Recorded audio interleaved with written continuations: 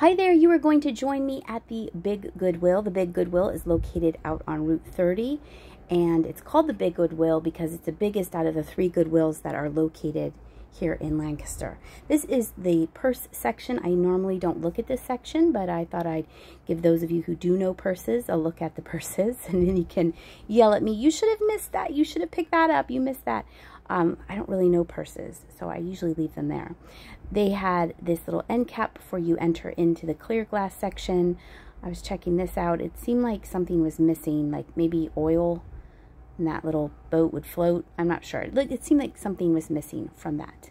And what I am doing here, besides moving really fast, well, I found this white milk glass. Let's get to this first. And I picked it up. You'll see at the end of the video why I picked this one up because there is a swirl within the white milk glass that I think is really, really pretty. Very, very subtle. You kind of see it there. I do show it more at the end of the video. Uh, I thought it was nice and it wasn't priced really high. So I decided to let's throw the, well, let's gently place the milk glass in the cart. What I'm looking for here is I'm looking for clear glass uh, I guess you could call them vessels for my uh, uh, resin art. And I will also show, uh, I have shown them on Whatnot sales, but I'll show them here also at the end of the video. I have made, uh, I've completed two of them, one out of a butter dish and then one out of that dish right there. And I feel like it's giving these clear glass pieces new life. I'm I don't I'm not taking away um, you know baccarat crystal or Waterford crystal or anything. Night. It's a dollar ninety nine banana uh, uh, banana split dish. And on the one piece that I'm going to show you, I actually took a piece, uh, it's a deer that was broken, that was beheaded, and I didn't realize it until I put it in the light box of truth that it had been repaired. So that is my idea to take broken figurines and clear glass kind of cast-offs and make them into little pieces of art. This I thought was super cute. I thought this would be cute for a really teeny tiny little work of art. It had still had the spoon in it.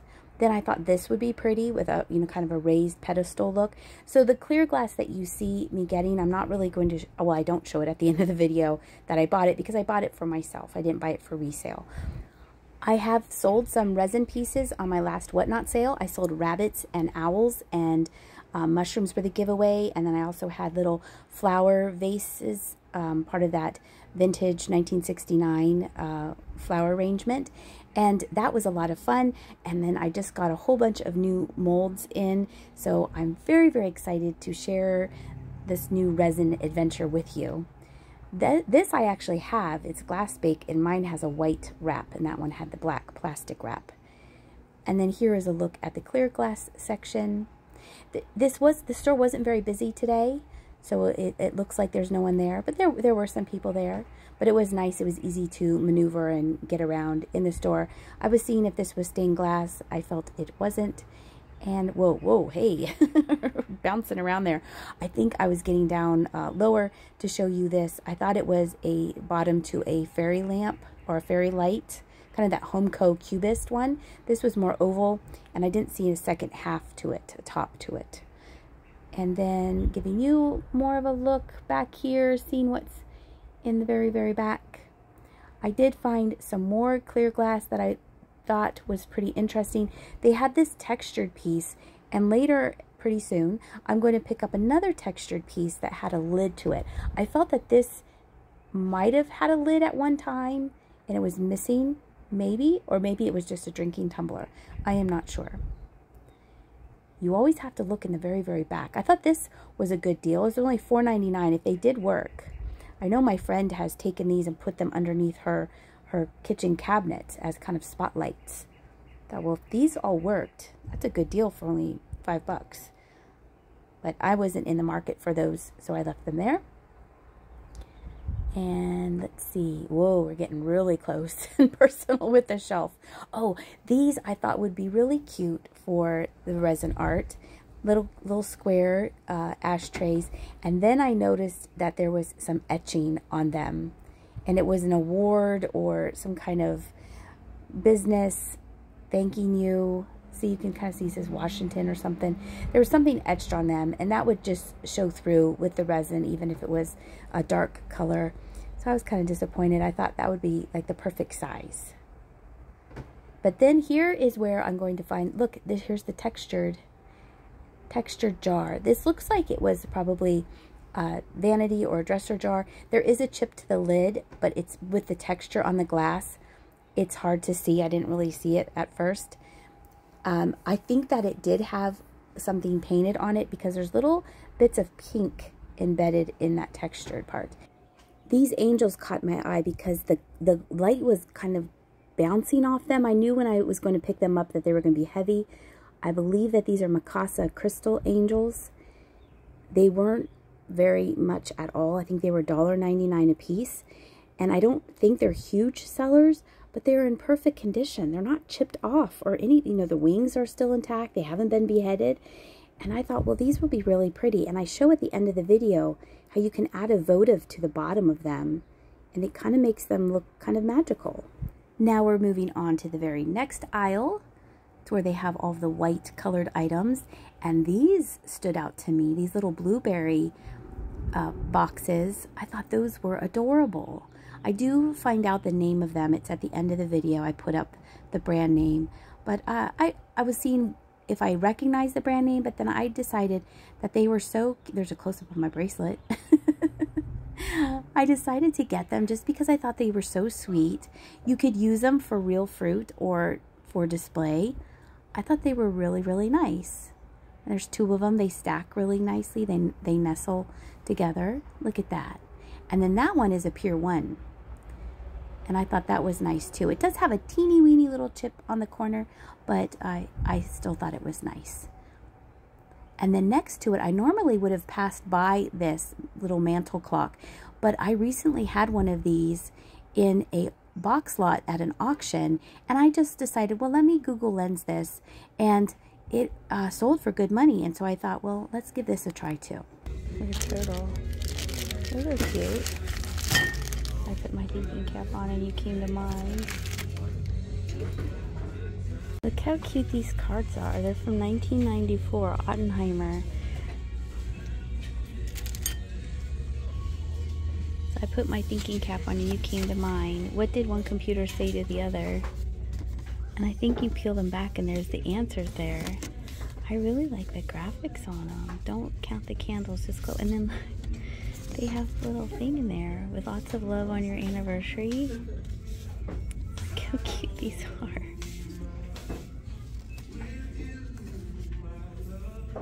You take the cake. Are you feeling blue?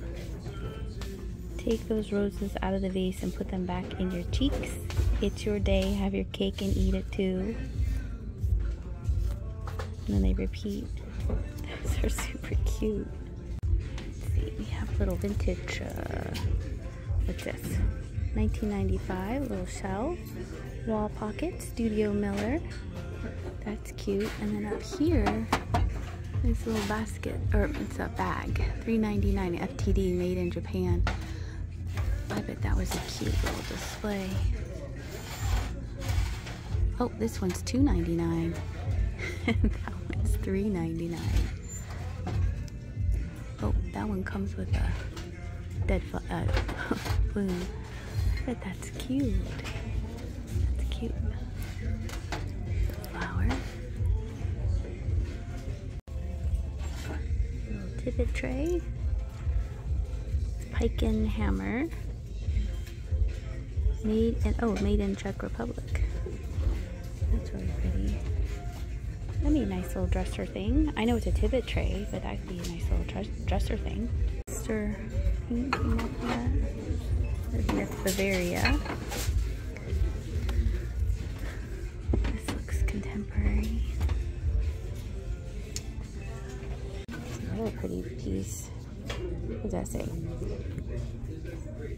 Think someone had this in their antique booth for 15 made in Germany and you can get it here at Goodwill for zero money. Moving on down the line, here was a little seductive angel. I moved it to the front so someone could see it. And then this, I was excited for just like a second that it was a lady head vase. And then I realized it was a bank of a girl's head, but I feel that there was something on top of the head that was missing because there was kind of a glue mark there. And then moving some more, this made me nervous. I thought it was going to fall, so I pushed it back to, safe, to safety. And then I found this mug that it said pharmacists are exceptional people. And I've never seen a pharmacist mug before. I think I've looked at this before. I think I looked at this vase in the last video when, when I came here to Big, Goodwill. It's catching my eye, obviously. Giving you a look at the shelves as well. Don't want to miss the bottom shelves. And then we're going to slowly turn and go down the other side. I do like to look at the end caps because you do find things. Uh, St. Joseph is still here. I still haven't, it, it's it hasn't been like, oh, I need to get him. Oh, it's he's still here. I'll get him. I don't know. I just, for some reason, I haven't picked him up yet. And I think he's been at the last three times I've been to this Goodwill. That had some chips on the flowers, unfortunately. It's a cute little trinket dish. I had gone, this is the shopping day before my vintage vanity sale. So I was looking for other vanity items and so that is why that tidbit tray, I said, oh, this would make a good thing for your vanity because I didn't think I had enough items, but I it turned out I did.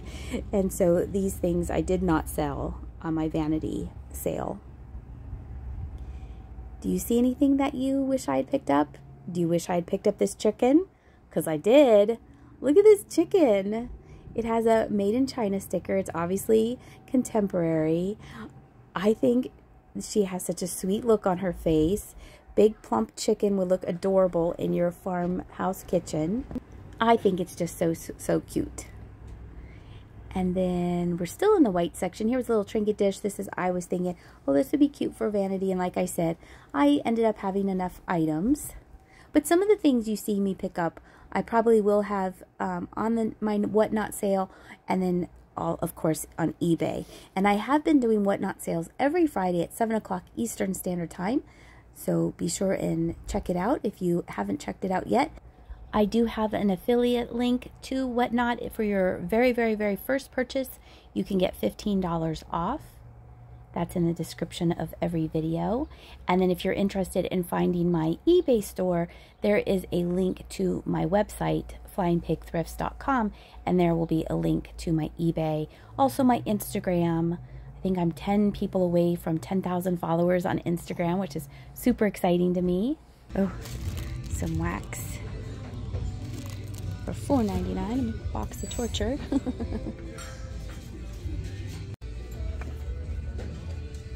Keep from oh, Christmas tree shop.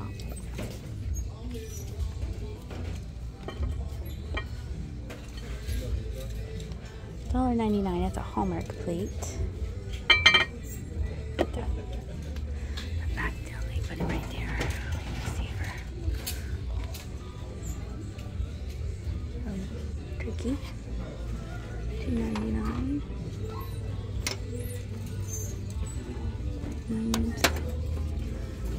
Horse cup from Cracker Barrel.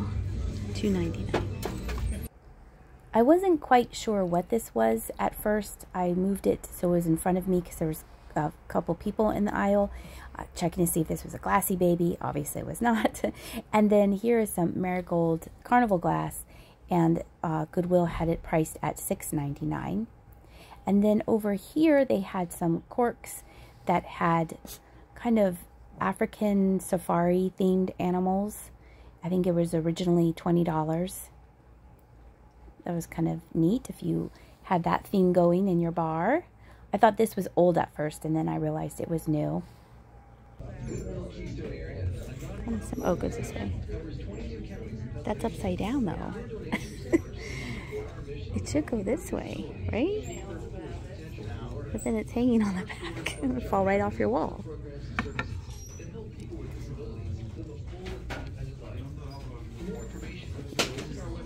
Like that strawberry one. Am I wrong with that strawberry plaque? It looked like it was upside down. They had put the hanger on the wrong ends. Maybe someone lived with it upside down for 20 years and then they were like, you know what? We're donating this. it looked like it was upside down to me. This is False Craft the creamer and sugar. You see this quite a bit around here. Uh, let's see. Oh, this, I, I did kind of think about getting this. This was originally a souvenir. I thought about it because the deer was on there and it still had the pen. It felt like something that uh, Kate from Follow That Bug would have would have gotten, would have picked up. I don't know. I thought about it for a little bit. Two, three, four, five, six, seven, eight, nine, ten, eleven, twelve. And they are asking $1.99 a piece.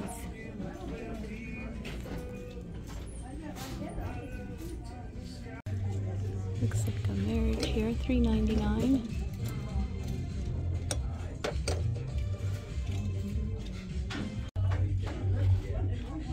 Two ninety nine for the grapes, and it has the spoon still.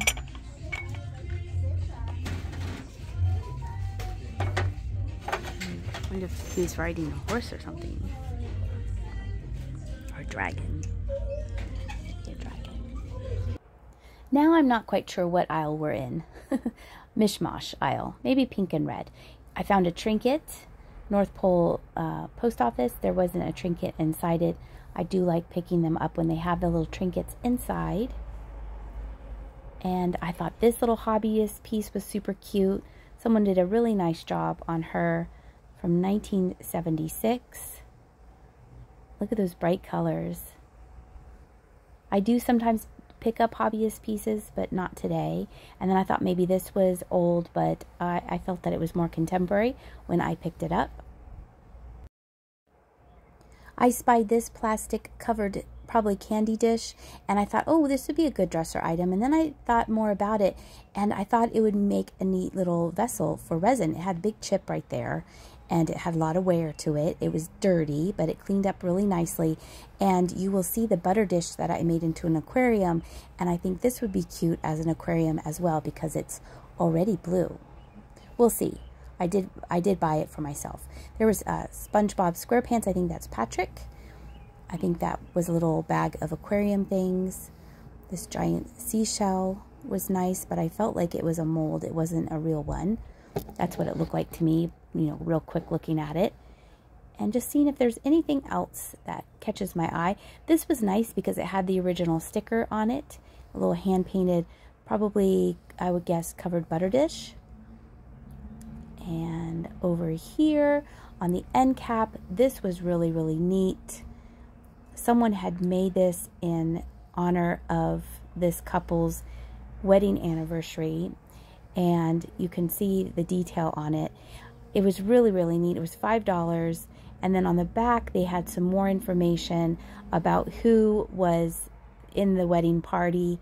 I thought that was really super cool but very specific. I think this is more of an item if I had a an antique booth. I probably would pick that up for it because it does have uh, local St. Mary's Church that it, we do have a church here in Lancaster called St. Mary's. So I just I thought it was neat. I enjoyed reading it. Um, you know the, the history of it. Mm, I didn't really like this clown plaque though.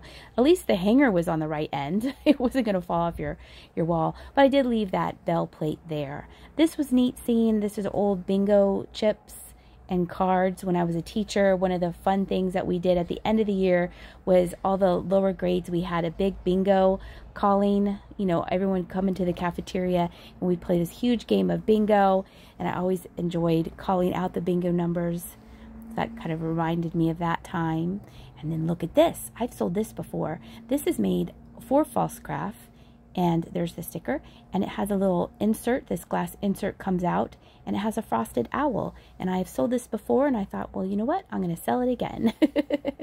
I love picking up owl things. And some of the molds that came in um, the mail today from Temu, not sponsored yet, um, were owl molds. So I have different owl molds to share with you guys um, this Friday. I can't wait.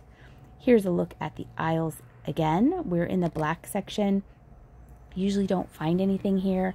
I was seeing if this was vintage, but when I flipped it over, it had batteries, so I felt it was more on the more modern contemporary side. And then this definitely had some age. I think that this is a heating pad and the uh, fabric alone, doesn't that bring back some memories? I thought that was fantastic. Again, that I would pick that up if I had an antique booth, but I'm not going to buy it uh, for eBay or whatnot, but still super cool fabric. And then in this bag were some drawer pulls. They seem kind of just ordinary brass metal pulls, pulls. And then this little dish was interesting. It had different kinds of Santa Clauses on it. I flipped it over to see if it had a name. I didn't really notice a name pop right out, and it, and it did have some wear to it, so I put it back on the shelf. I actually took a picture of this little artistic hobbyist piece and sent it to Jody of Studio 36 Banger. That's her name on Whatnot. She really likes beavers, and I sent her the picture of it. And I said, Look, raccoons, they're beaver adjacent. I wish it had been beavers because I definitely would have bought it for her and uh, sent it off to her. I thought it was kind of cute. Now we're um, in the Christmas section. For some reason, they had a bull and matador in the Christmas section, and for some reason they put it in a plastic bag. So even though I do not condone bullfighting, it de definitely has a vintage look to it, but uh, because it had been put in the bag, it was already broken. And now I went back down the clear glass section one more time, and I found a little underplate to go with the jar, the cover jar. So that is what I'm showing to you. And then I also found a snap-on uh, tool tumbler and I know Snap-on tools sell well when I go to auctions, so I thought I'd give it a chance and maybe someone needs a replacement glass. Here is a look, close-up look of the milk glass. Look as I turn it on my Lazy Susan. You can kind of see the swirl up there.